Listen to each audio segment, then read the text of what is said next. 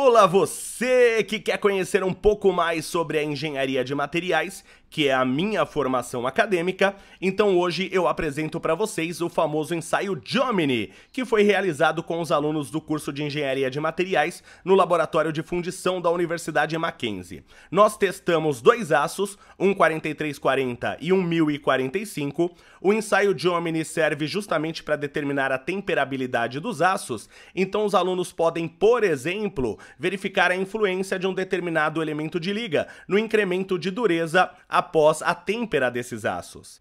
Todo o procedimento, que é descrito em norma, é explicado para os alunos, assim como todas as questões de segurança, assim eles mesmos podem realizar o ensaio e durante o curso eles vão se familiarizando também com o ambiente de indústria. Isso é muito importante, é claro, para aqueles que queiram seguir carreira em indústria.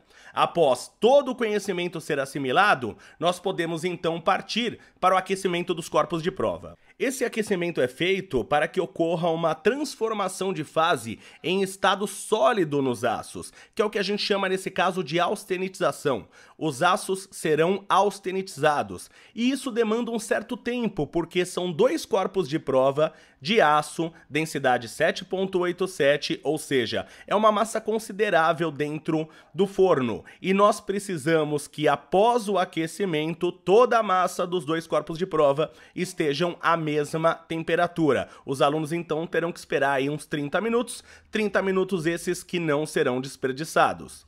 E enquanto aguardamos a austenitização das amostras, nós vamos discutindo e evoluindo na parte teórica, para que possamos prever os resultados. Se você entendeu a teoria de verdade se você não errou nos cálculos, o que você determinou na teoria, você vai encontrar na prática. E quem já trabalhou com tratamentos térmicos, geralmente em fornos tipo mufla como esse, sabe que não existe milagre. Tem que esperar o tempo de aquecimento, tem que esperar o tempo de encharque. Mas isso não é problema, pois continuamos a discussão com os nossos alunos, tentando fazê-los chegarem a um consenso sobre a expectativa dos resultados após a finalização do ensaio. Consenso esse atingido ou não, é hora de tirar os nossos corpos de prova do forno. E essa é a etapa crítica do ensaio de Omni. A partir do momento que você retira o corpo de prova do forno, você tem que levá-lo o mais rapidamente possível até o nosso sistema de extração de calor. Vocês vão perceber que esse sistema tem uma direção e um sentido preferencial de extração de calor, ou seja, o calor é extraído por baixo. A parte de baixo desse cilindro de aço, ele perde calor muito rapidamente. 1 milímetro para cima, ele perde calor um pouco mais lentamente. 2 milímetros para cima, ele perde calor mais lentamente ainda ainda. 3 milímetros para cima, ele perde calor mais lentamente ainda, e assim por diante. E eu vou continuar com esse ensaio até o corpo de prova se esfriar completamente. Obviamente isso demanda algum tempo, por isso que eu vou fazer aqui um cortezinho no vídeo. Os alunos vão aguardar até todo o corpo de prova chegar até a temperatura ambiente. Depois que ele chegar até a temperatura ambiente, a gente vai lá tirar o outro corpo de prova. E no final das contas, o que, que nós estamos fazendo aqui? Nós estamos determinando a curva de temperabilidade de cada aço. Lembrando que os alunos podem desenvolver os seus próprios projetos de pesquisa, no caso do nosso laboratório aqui, eles podem criar as suas próprias ligas metálicas, mas hoje nós queremos verificar a temperabilidade de cada um desses aços. E o que é temperabilidade? Temperar um aço basicamente é deixar o aço duro. Então nós vamos verificar que aços de baixa temperabilidade só adquirem dureza nas partes que foram resfriadas rapidamente, no nosso caso, na parte de baixo do cilindro.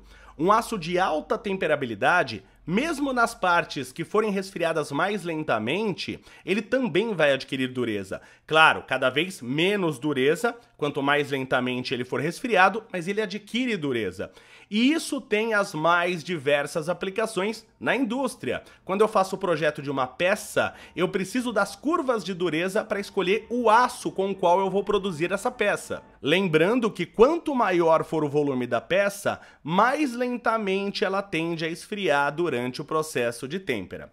E agora os alunos vão utilizar um durômetro para determinar a dureza ao longo de todo o corpo de prova. Assim eles poderão traçar a curva Jomini para os dois aços, eles irão descobrir qual aço tem a melhor temperabilidade e vão entender a influência dos elementos de liga na temperabilidade dos aços. Lembrando também que este é um laboratório mais focado para a indústria, mas o curso de Engenharia de Materiais do Mackenzie tem foco na gestão, inovação, empreendedorismo, pesquisa, reciclagem, meio ambiente, etc.